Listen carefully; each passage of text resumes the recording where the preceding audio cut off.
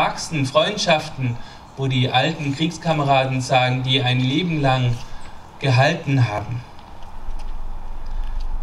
To dem Tod und den Entbehrungen gemeinsam ins Auge zu blicken und dabei sich selber zurückzunehmen zugunsten der Kameraden. Den Tod und die Entbehrungen leichter zu ertragen, weil die Gemeinschaft trägt, die Kameradschaft sie meistert gemeinsam. Ja, und gute Kameradschaft findet man nicht nur beim Militär, sondern auch in unserem Alltag. Das gilt für die Feuerwehrkameraden, die auch gegen einen gemeinsamen, wenn auch anderen Feind kämpfen. Und in anderer Form ebenso auch für unsere Vereinskameraden in Musik oder Sport und in vielen Feldern des gesellschaftlichen Lebens. Formen der Kameradschaft haben wir auch vorgefunden in der Corona-Pandemie, als dieser Feind des Corona war. Überall da, wo Zusammenhalt spürbar war, wo Achtsamkeit, gegenseitige Hilfe deutlich wurde. Letztlich da, wo dieses eigene Ich, das eigene Ego zurückgestellt wurde oder vielmehr verbunden wurde mit einem großen Wir. Ich hatte einen Kameraden. Auch die Friedensgebete in Straubenhardt, sie stehen unter diesem Leitgedanken. Wir ziehen nicht in den Krieg, wir ziehen in den Frieden. Auch hier haben wir Woche für Woche Kameradschaft erlebt, das Miteinander, das aktive Einstehen für den Frieden. Wir ziehen in den Frieden. Auch die tatkräftige Hilfe für unsere ukrainischen Gäste, auch diese Hilfe, sie stand unter diesem Motto, wir ziehen in den Frieden. Vielen Dank allen, die ihre Häuser geöffnet haben, die Wohnungen angeboten haben Danke allen, die Unterstützung leisten, Integration ermöglichen in den Rathäusern und Landratsämtern und auch im Ehrenamt. Ich hatte einen Kameraden, einen bessern findest du nicht, die Trommel schlug zum Streite. Er ging an meiner Seite in gleichem Schritt und Tritt. Eine Kugel kam geflogen, gilt's mir oder gilt es dir?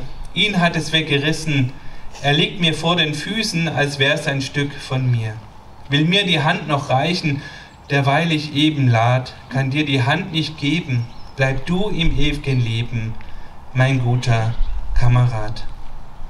Angesichts von Tod und Trauer, angesichts der Gräber, da hilft mir der Blick auf Jesus Christus. So wie der Soldat in unserem Bild auf Jesus Christus schaut. Unser Blick hilft mir, dieser Blick auf Jesus Christus weiterzumachen, aufzustehen, denn Jesus Christus ist ja derjenige, der weitergemacht hat, der aufgestanden ist, der auferstanden ist, der Leben ermöglicht. Ewiges Leben und Leben im Hier und Jetzt, beides. Leben mit Sinn, Leben mit Anstand, Leben mit Glaube, Liebe und Hoffnung. Diesen Jesus hat diese Kugel getroffen. Er wurde ans Kreuz gebracht. Er liegt mir vor den Füßen, als wäre es ein Stück von mir. Jesus, der gute Kamerad, der mit uns kämpft, der sich für uns einsetzt, der Trauer in Zuversicht verwandelt, Angst in Mut, Verlorenheit in Hoffnung. Also hat Gott die Welt geliebt, dass er seinen eingeborenen Sohn gab, damit alle, die an den Glauben nicht verloren werden, sondern das ewige Leben haben. Diese Liebe Gottes, sie bleibt bestehen, auch und gerade dann, wenn vieles andere ins Wanken gerät. Ich gebe euch den Frieden, meinen Frieden gebe ich euch, nicht wie die Welt gibt. Das hat dieser Jesus gesagt und nicht nur gesagt, sondern auch gelebt. Der rote Faden seines Lebens war die Liebe in Wort und Tat. Er opferte nicht andere für sich, sondern hat sich selber dahingegeben. Er ist am Kreuz gestorben, um uns seine grenzenlose Liebe zu zeigen und dieser Welt den wirklichen Frieden zu schenken. Lasst uns ausstrecken nach diesem Frieden Gottes. Der Friede ist und bleibt unsere gemeinsame Aufgabe. Wir lassen nicht zu, dass darauf herumgetrampelt wird. Dafür hat uns Gott das Leben nicht geschenkt. Wir leben und jeder andere soll doch auch leben. In diesem Sinn und auch mit Hans-Dieter Hüsch gesagt, lasst uns Gottes versammelte Großzügigkeiten werden und seine Artisten sein. Schaut noch mal drauf, es kam jetzt in den Nachrichten Die letzten Tage hat Banksy, dieser Künstler, dieser Street Art Künstler, diese Kunstwerke gemacht oder Graffiti gemacht und zwar auf zerstörten Häusern in der Ukraine. Ist jetzt die Tage gestern aufgetaucht. Einmal in diesen Trümmern diese Turnerin, das Mädchen und dann das Mädchen, die Frau, die die Bänder schwingt. Artisten für das Leben mitten im Zerbruch. Lasst uns Artisten sein für den Frieden und Handwerker, Menschen mit Zuversicht, mit Geduld, mit Freundlichkeit. Lasst uns spielerisch auftreten, wo andere mit dem Fuß aufstampfen. Lasst uns Feinde in Freunde verwandeln. Viele sagen, das sei ihnen unmöglich. Andere sagen, das entspricht ja gar nicht dem gesunden Menschenverstand. Es entspricht aber Gottes Verstand und Gottes Plan für uns. Gottes großer Liebe. Lasst uns dieser Liebe trauen mehr als auf alles andere. Amen.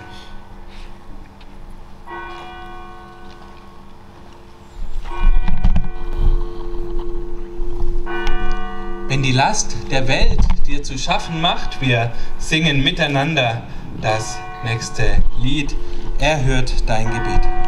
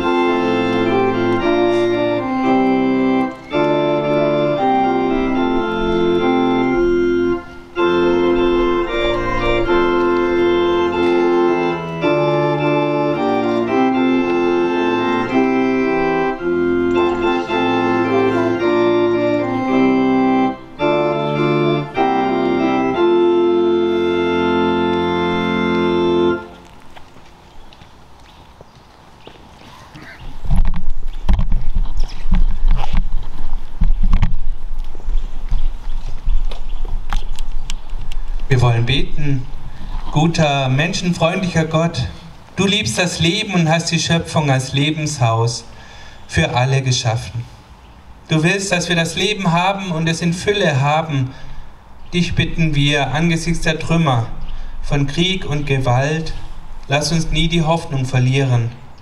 Schenk uns Kraft zum Frieden, Kraft zu Wiederaufbau und Neuanfang.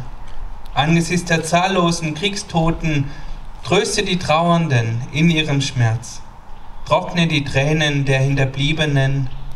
In den Trümmern von Krieg und Gewalt sei du bei allen, die sich um Gerechtigkeit und Frieden mühen und stärke die, die sich für ein Ende von Gewalt und Krieg einsetzen. Auf den Schlachtfeldern dieser Welt lass die Toten nicht endgültig tot sein, lass die Opfer nicht auf ewig Opfer sein. Denn auf dich hoffen wir, auf dich bauen wir, dir vertrauen wir unsere Sehnsucht an. Und so kommen wir zu dir mit dem Gebet, das du uns Jesus Christus gelehrt hast. Wir beten, Vater unser im Himmel, geheiligt werde dein Name, dein Reich komme, Dein Wille geschehe wie im Himmel, so auf Erden. Unser tägliches Brot gib uns heute und vergib uns unsere Schuld, wie auch wir vergeben unseren Schuldigern. Und führe uns nicht in Versuchung, sondern erlöse uns von dem Bösen. Denn dein ist das Reich und die Kraft und die Herrlichkeit in Ewigkeit. Amen.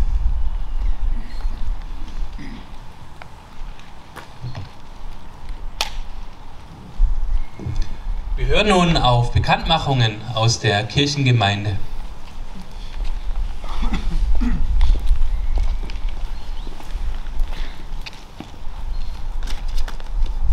Ja, zuerst äh, möchte ich mich ganz herzlich bedanken bei allen Mitwirkenden, vor allem Musikverein oder Martin an der Orgel und David Gerlach, all denen, die aufgebaut haben, die nachher wieder abbauen dürfen, wollen, müssen. Also herzlichen Dank allen Beteiligten und natürlich Ihnen, dass Sie gekommen sind, denn sonst hätte das Ganze auch keinen Sinn gemacht. Also schön, dass Sie da waren. Nehmen Sie was mit, ein guter Gedanke vielleicht, auch ein Gespräch auf dem Heimweg noch mit dem einen oder anderen. Nehmen Sie das mit in den Tag. So, wir haben noch folgende Veranstaltungen in nächster Zeit.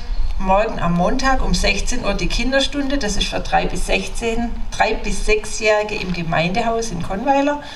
Um 18 Uhr ist in Feldrenach bei der Kirche des Friedensgebet und um 19 Uhr bei uns in Konweiler im Kirchsaal das Montagsgebet. Am Dienstag ist um 9.30 Uhr Krabbelkreis im Gemeindehaus, um 16.30 Uhr kleine Jungsjungschar und um 19 Uhr Jugendkreis, alles im Gemeindehaus. Ähm, der Konformantenunterricht am Mittwoch findet nicht nachmittags statt, sondern als Gottesdienst zum Buß- und Betag mit dem Abendmahl mit den Konformanten in Feldrenach mit Pfarrer David Gerlach. Um 19 Uhr habe ich glaube gesagt. Am Donnerstag ist um 14.30 Uhr Bibelstunde in Kornweiler mit der Siglinde Fischer und um 20 Uhr die Abendbibelschule in Feldrenach. Am Freitag um 16.30 Uhr die gemeinsame Jungschar, das ist ab Klasse 5 in Feldrenach, also Jungs und Mädels zusammen. Um 16.30 Uhr in Konweiler die kleinen Mädels und um 19 Uhr Teamkreis auch in Konweiler. Am Samstag um 16 Uhr ist Probe für das Weihnachtsmusical im Gemeindehaus. Und wer Bücher und Kalender und Losungen möchte für nächstes Jahr, darf sich gerne an die Frau Elke Schimke wenden. Oder als Vorschau am 1. Dezember ist Vormittagstreff im Gemeindehaus, da können Sie es auch mitnehmen.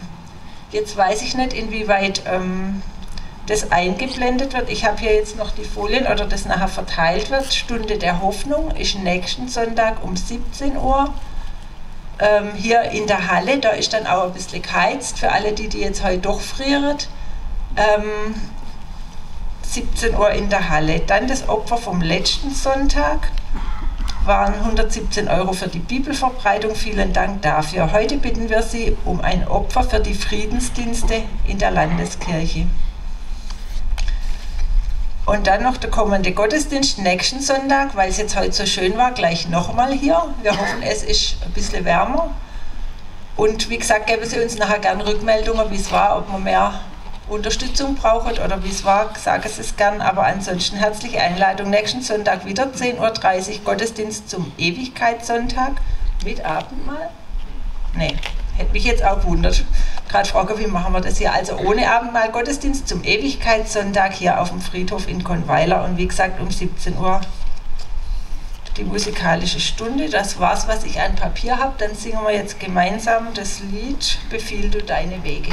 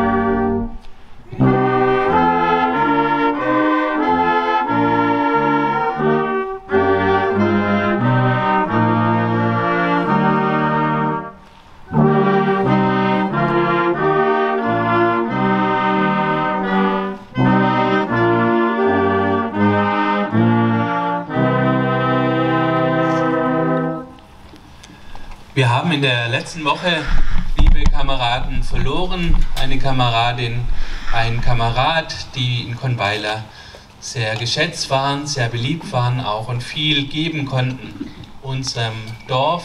Ich bitte euch, sich zu erheben.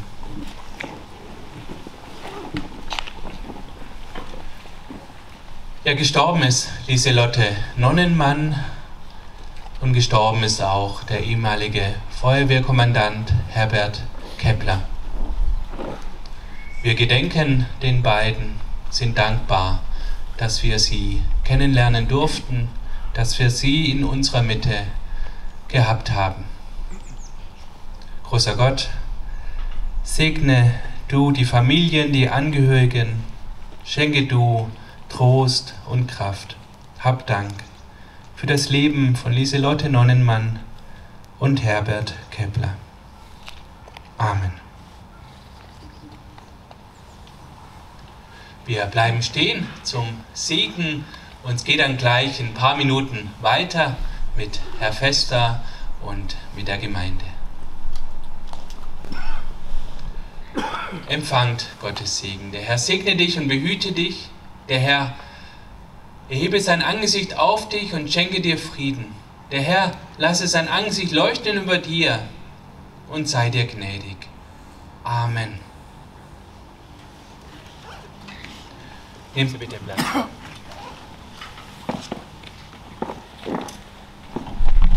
Thank